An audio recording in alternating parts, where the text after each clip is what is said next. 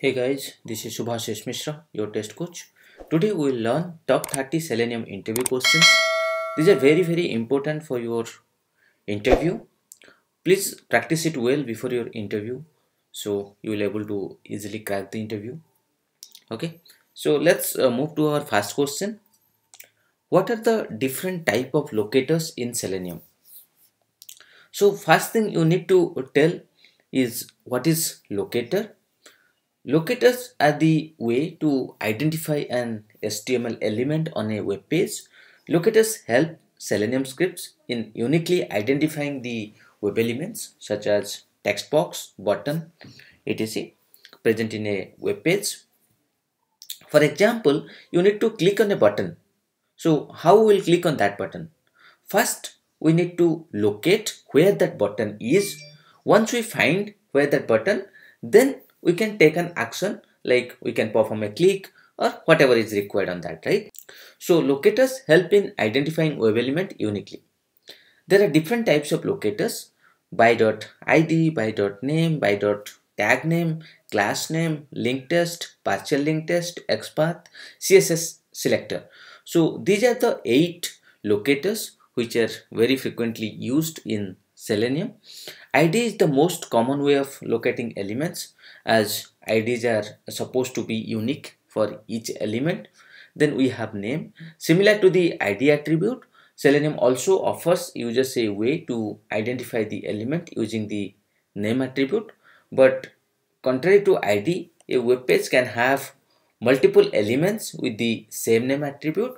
So if we are going to use the name attribute for the identification of web element, we should always make sure that the name attribute must contain a unique value.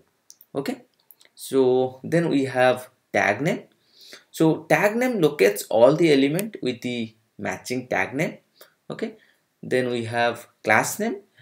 Class name finds elements based on the value of the class attribute. If an element has many classes then this will match against each of them. We have link text. If the targeted element is a link text then you can use the by.link text locator to locate that element. We have partial link text. Again, the target link can be located using a portion of text in the link text of element. Then we have XPath. So XPath is mostly commonly used, you know. So XPath uses the XML expression to locate an element on the web page. XPath is quite useful in locating dynamic elements on a web page. XPath can access any element present in the web page even when they have dynamic properties. Then we have CSS. CSS is known as cascading style sheets. CSS are used extensively to style web pages. So it is an effective medium to locate various web elements. Nowadays, most of the web pages are dynamically designed so it is very difficult to get a unique id name or class to locate element. So in that case we use css selectors. It is very highly used. And one more thing is css is faster compared to any other locator strategy. So like this you can explain very well these eight locators okay so when they are asking what are the different locators, definitely you need to tell these eight locators with proper explanation why it is used, when it is used. Okay, let's move to the next question. Explain the difference between single and double slash in XPath. Okay, some people can also ask what is the difference between absolute path and relative path. So mostly these questions are same. So what you can answer here is single slash starts selection from the document node. It allows you to create absolute path expression. So single slash is known as absolute path. Okay. Single slash is used to create XPath with an absolute path. That is the XPath would be created to start selection from the start node. So you need to start from the beginning. Okay.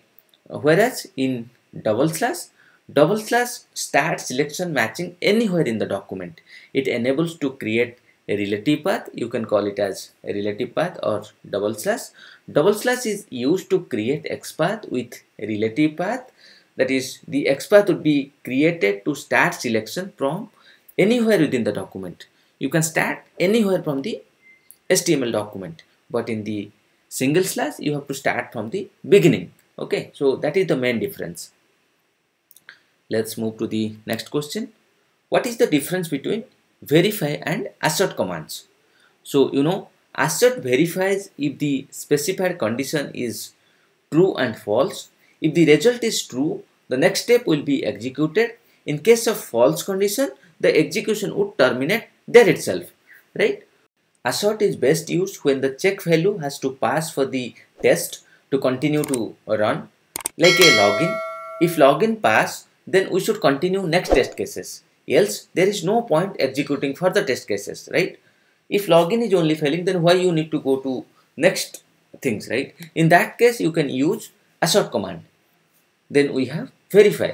Verify verifies if the specified condition is true and false. If the result is true the next step will be executed. In case of false condition the execution also continue. It will not stop there itself. Where in assert it was stopping there Verify is best used to check non-critical things. It is okay if that non-critical test or condition fails. We can check other tests also. So that's the main difference between assert and verify. Let's move to the next question. How you will launch the browser using WebDriver. So we have this syntax like WebDriver driver equal to new Firefox driver, Chrome driver or Internet Explorer driver, driver one more thing you need to uh, understand here is before initializing the Chrome driver or uh, iDriver, we need to set the path of the driver using system.set property. So if you will do that, you will able to launch the WebDriver. Okay, this is simple. Let's move to the next. What is the major difference between driver.close and driver.quit? Driver.close command closes the browser's current window. If multiple windows are open, the current window of focus will be closed in driver.quit, when quit is called on the driver instance and there are one or more browser windows are open, it closes all the open browser windows. So the main thing is if we will use close function, close command, then the browser's current window will be closed. All other windows will not be closed. But if we will use driver.quit, then all the browsers opened will be closed. Okay, let's move to the next question. What are the types of waits supported by WebDriver? So there are three different waits we have. We have implicit wait, explicit wait and fluent wait. So first is implicit wait. The implicit wait in Selenium is used to tell the WebDriver to wait for a certain amount of time before it throws a no such element exception. The default setting is 0. Once we set the time, the WebDriver will wait for the element for that time before throwing an exception. Here you can see the syntax driver.manage.timeout.implicit wait then we have timeout then we have time unit dot second so here if we'll give some time then it will wait for that that much time. Okay? If the element is not located on the web page within that time frame then it will throw an exception. Okay? So that is implicit wait then we have explicit wait Explicit wait in Selenium is used to tell the WebDriver to wait for certain conditions or expected conditions or maximum time exceeded before throwing element not visible exception. It is an intelligent kind of wait but it can be applied only for specified elements. It gives better options than implicit wait as it waits for dynamically loaded Ajax elements. So here you can see the syntax WebDriver wait equal to new WebDriver wait WebDriver reference then timeout. So here we will have different kind of expected conditions uh, like I told before right. So it will have some conditions or we can say that expected conditions like if alert is present if element selection set to be then element to be clickable element to be selected so like that, if it is selected, wait till that time. If alert is present, wait till that time. So the conditions will be like that, right? Then we will have the fluent wait. So in fluent wait in Selenium is used to define maximum time for the WebDriver to wait for a condition as well as the frequency with which we want to check the condition before throwing an element not visible exception. it checks for the web element at regular intervals until the object is found or timeout happens right? So the syntax you can see here wait wait equal to new fluent wait WebDriver reference dot without sorry with timeout then duration of seconds we are giving in seconds then pulling every duration of seconds seconds dot ignoring exception dot class. So that is the syntax of fluent wait so you can explain all these three different kind of waits even sometime interviewers ask directly what is implicit wait or what is explicit wait they can ask individually also. Okay? Let's move to the next question. Mention the types of navigation commands. Okay? What are the navigation commands we have? So we have navigate dot back. Okay? So what it will do? This command requires no parameters and takes back the user to the previous web page in the web browser history. So whatever web page you have opened previously it will take you back there. Okay so syntax is driver dot navigate dot back okay similarly we have forward function. So this command lets the user to navigate to the next web page with reference to the browser history. Okay so it will move you uh, forward.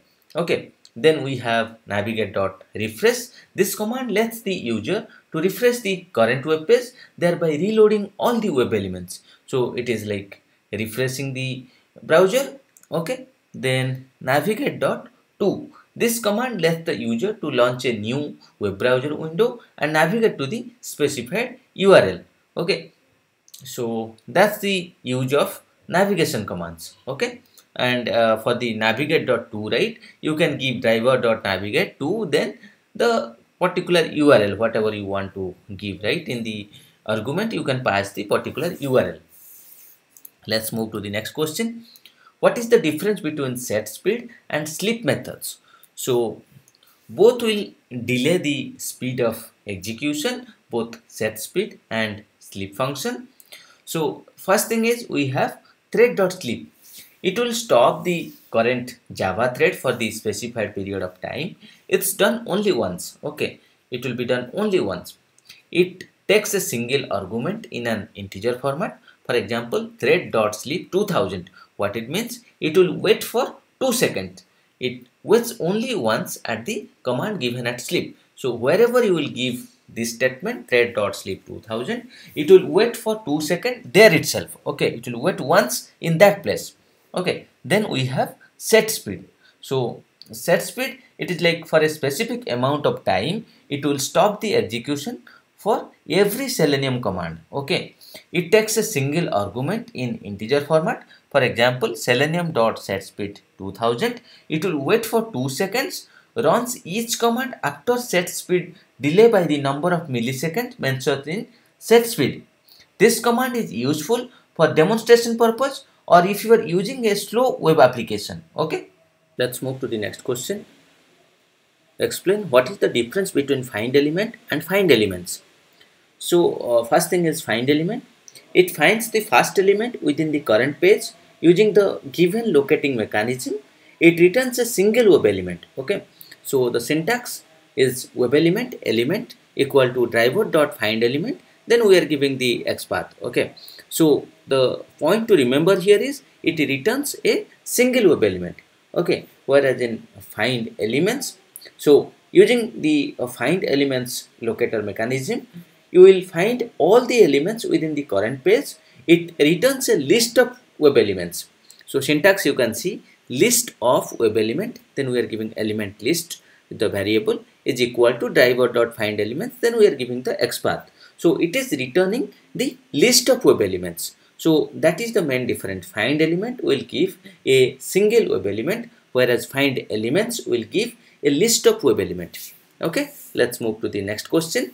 What are the different exceptions you had in selenium webdriver so this is again a very uh, important question people used to ask because they want to check whether uh, how much you have worked in uh, real time so in real time if you have worked it definitely would have got this kind of exception. So you can say WebDriver exception no alert present exception no such window exception no such element exception timeout exception. So these are the few exceptions we used to get in selenium WebDriver okay? Let's move to the next question. How to handle multiple windows in selenium? This is a very common question asked in Selenium interview. In real time, we face many scenarios where an application throws multiple pop-ups. We can easily achieve this using window handles in Selenium WebDriver. We need to switch, we need to use switch to method which allows us to switch control from one window to other. So there are uh, mainly two methods. One is get window handle and another one is window handles so get window handle is like a method which helps to get the window handle of the current window whereas in get window handles that method helps to get the handles of all the windows opened. Okay. So here is a piece of code which is used to uh, switch one window to another. So what we are doing here we are first opening the browser then we are maximizing the browser okay using driver.manage window.maximize then we are opening one uh, website uh, here we are opening Naukri website. Then what we are doing then we are using string main window equal to driver dot get window handle. So here we are finding the parent window and uh, we are assigning to a string okay? Then what we are doing? Then we are finding we are using set of string set equal to driver dot get window handles. So here it is returning the number of windows open by the WebDriver and it will return to set of strings okay then finally what we are doing we are comparing the uh, comparing whether main window is not equal to child window. If not equal then we are closing it. Okay. And uh, finally we are switching to the main window. So you can refer to this code uh, if you want to switch to one window to another. Okay. Let's move to the next one. What is the difference between get window handle and get window handles function okay so in our previous question we already discussed about what is get window handle and get window handles. Uh, let's uh, discuss one more time.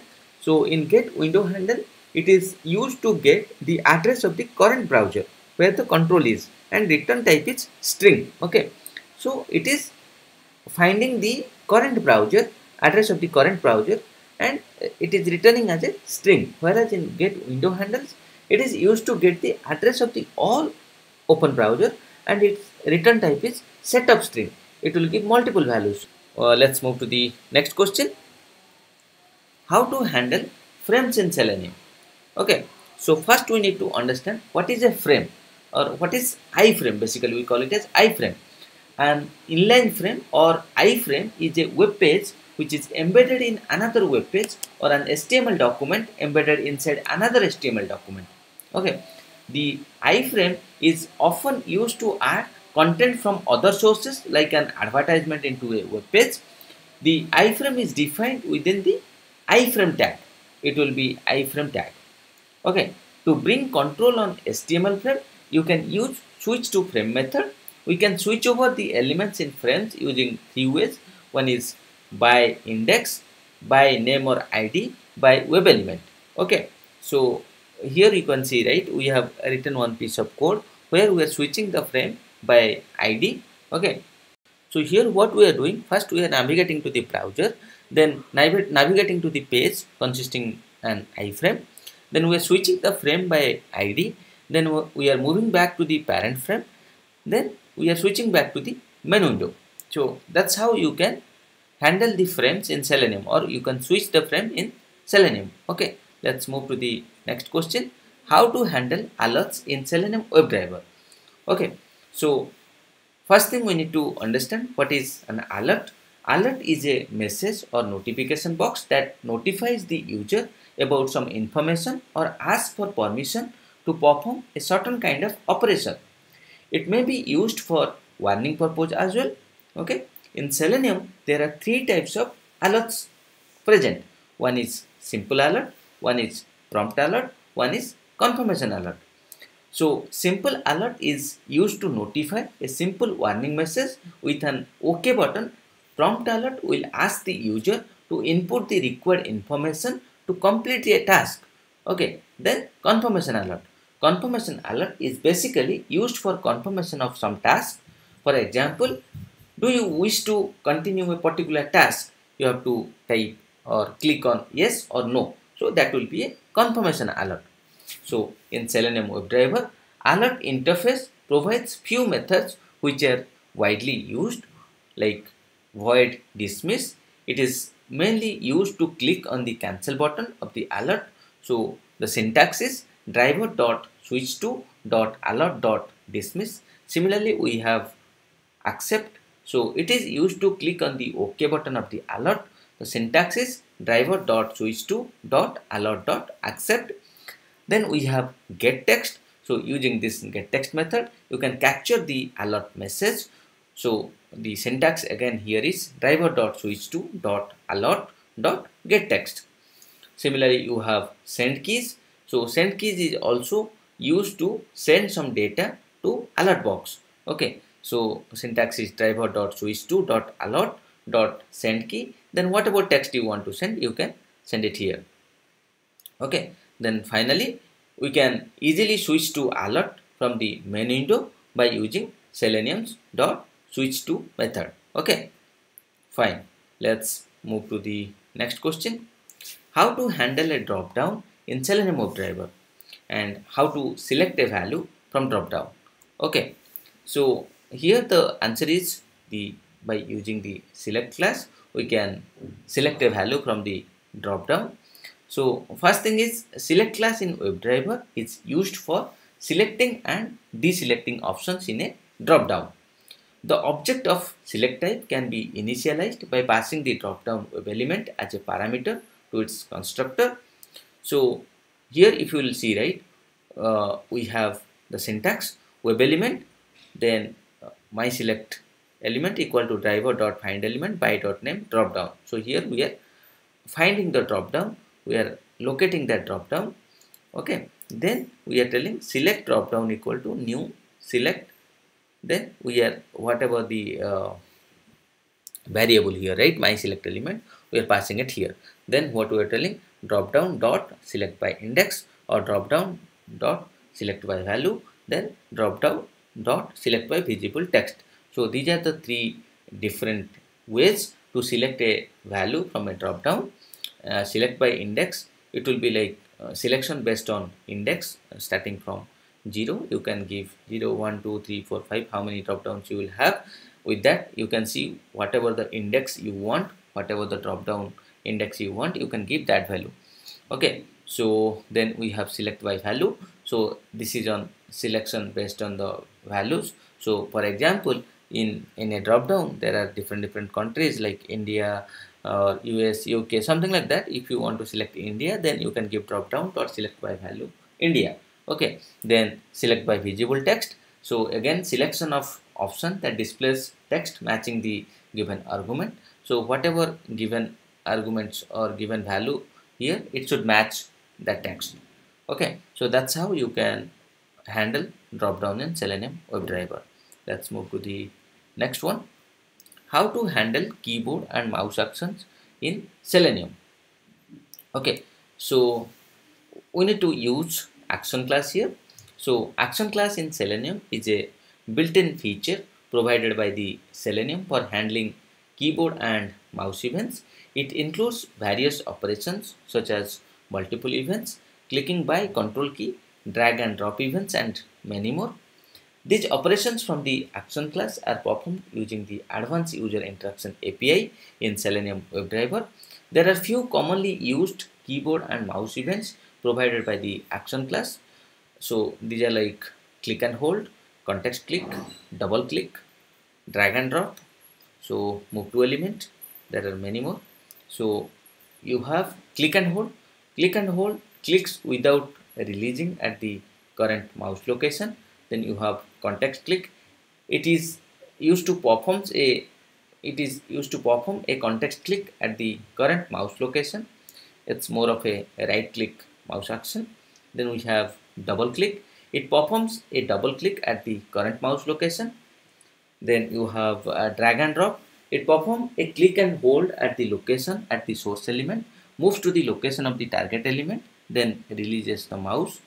We have move to element it shifts the mouse to the center of the element. So that's how we can handle keyboard and mouse actions using selenium. Let's move to the next question. How to take screenshots in webdriver? So takes screenshot interface can be used to take screenshots in WebDriver. So get screenshot as is a method which is used to save the screenshot. And here is the syntax file scr file equal to takes screenshot driver dot get screenshot as whatever the output type you can give dot file okay let's move to the next question how to upload a file in selenium webdriver so we can do it by using send keys or robot class method. So first you need to locate the test box and set the file path using send keys and click on the submit button. Okay. So uh, first uh, here you will see right the syntax we are locating the uh, browse button web element browse equal to driver dot find element by dot id upload file. Then we are uh, passing the path of the file to be uploaded using send keys. So browse dot send keys here is the path of the file what we want to upload. So that's how you can upload a file in selenium webdriver let's move to the next question what is Selenese and what are the types of Selenese? so Selenese is the set of selenium commands which are used to test the web application we can test the broken links the existence of some object on the ui ajax functionality alerts window, list options and a lot more using Selenese. There are three types of Selenese. One is action. So action commands which interact directly within the application with the application. Then we have assertions. Assertion verifies the current state of the application with an expected state. Then we have accessors. So it allows the user to store certain values to a user defined variable. Okay let's move to the next question what are the challenges in handling ajax call in selenium webdriver this is very important question people used to ask what are the challenges in handling ajax call in selenium webdriver the challenges faced in handling ajax call in selenium webdriver are uh, listed here you can see using pause command for handling ajax call is not completely reliable long pause time makes the test unacceptably slow and increases the testing time. Instead, wait for condition will be more helpful in testing Ajax applications. It is difficult to access the risk associated with particular Ajax application. So one more thing is given full freedom to developers to modify Ajax application makes the testing process challenging. One more thing is creating automated test request may be difficult for testing tools as such Ajax application often use different encoding or serialization technique to submit post data. Let's move to the next question. How can we handle Windows-based pop-up? Selenium doesn't support Windows-based application. It is an automation testing tool which supports only web application testing. We can handle Windows-based pop-ups in Selenium using some third-party tools such as AutoIT, Robot Class, etc. Okay let's move to the next question what is the difference between type keys and type commands okay so type first we will understand what is type. So it populates the value attribute using javascript. It just take the entire string and put it in there at one time. And if we use type key it simulates each keystroke. And it emulates like actual user typing. So if we use type key it will give a experience like actual user is typing. But if we give type function it is like a complete string it will uh, put directly right? It will just take the entire string and put it there in one time okay? So that is the difference between type and type key. Let's move to the next question. What are the technical challenges in selenium okay? So these are the few technical challenges which we have listed here. So Selenium supports only web-based application. okay? It doesn't support the bitmap comparison. For any reporting related capabilities have to depend on third party tool. We have to depend on third party tools uh, you know TestNG we used to use. No vendor support for tool compared to commercial tools like HP UFT then as there is no object repository concept in Selenium maintainability of objects become difficult User has to use some third-party tools like AutoIT for handling simple Windows objects like save, download, import, export and all. Okay, so these are the major challenges in Selenium. Let's move to the next question. Explain how can you handle colors in WebDriver.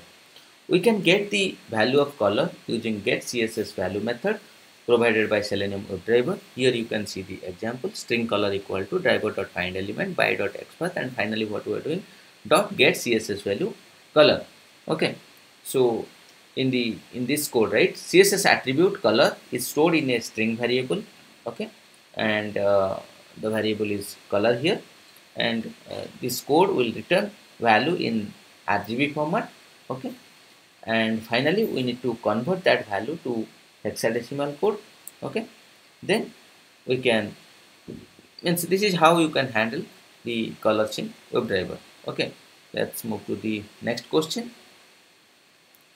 Explain how can you log in into any site if it's showing any authentication pop-up for password and username. Okay so here is the syntax uh, http username password url and examples is we are giving the username colon then password at the rate then the URL where you are trying to log in. Okay. So that's how you can directly log in. So if it is asking for a authentication pop-up. Okay. Let's move to the next one. How can you handle cookies in selenium? So in selenium there are different methods to add delete and get cookies. Okay. So first we'll see what is uh, how to add cookie. Okay so this is the function or this is the syntax driver dot manage dot add cookie then argument uh, we are passing here okay? So here we can pass the cookie name. So if we pass the cookie name that cookie name will get added okay? So that's why add cookie is used. Then similarly we have delete cookie and here also we can pass the cookie name. So it will delete a cookie okay and similarly we have delete all cookies. It will delete all the cookies for the for, that current domain okay? Then we have get cookies. It will it will get all the cookies for the current domain okay? Similarly we have get cookie named then argument we have. So here we can give the cookie name. So it will fetch that particular cookie okay? Let's move to the next question what is the same origin policy? How can you avoid same origin policy? So same origin policy is a feature adopted for security purpose. According to this policy a web browser allows scripts from one web page to access the contents of another web page provided both the pages have the same origin. The origin refers to a combination of the url scheme hostname and port number. Okay the same origin policy prevents a malicious script on the page to access sensitive data on another web page. Consider a JavaScript program used by google.com. This test application can access all Google domain pages like google.com slash login or google.com slash mail like that. However, it cannot access pages from other domains like yahoo.com and all right. So Selenium RC was introduced to address this origin policy. The server acts as a client configured HTTP proxy and tricks the browser into believing that Selenium core and web application being tested come from the same origin. Okay, let's move to the next question. What is object repository? An object repository is an essential entity in any UI automation which allows a tester to store all objects that will be used in the scripts in one or more centralized locations rather than scattered all over the test scripts okay let's move to the next one what is POM or page object model? This is very very important question. Most of the people ask about this. So every web page of the application has a corresponding page class that is responsible for locating the web elements and performing actions on them. Page object model is a design pattern that helps create object repository for the web elements. POM improves code reusability and readability. Multiple test cases can be run on the object repository. Let's move to the next question. What is Selenium Grid and how it works? Selenium Grid is a tool used together with Selenium RC to run tests on different machines against different browsers in parallel. That is running multiple tests at the same time against different machines running different browsers and operating systems. In simple words, it is used to distribute your test execution on multiple platforms and environments concurrently. Okay. Thank you. If you have any questions, please let me know in the comment section. I'll try to explain it. Please like, share and subscribe to my channel.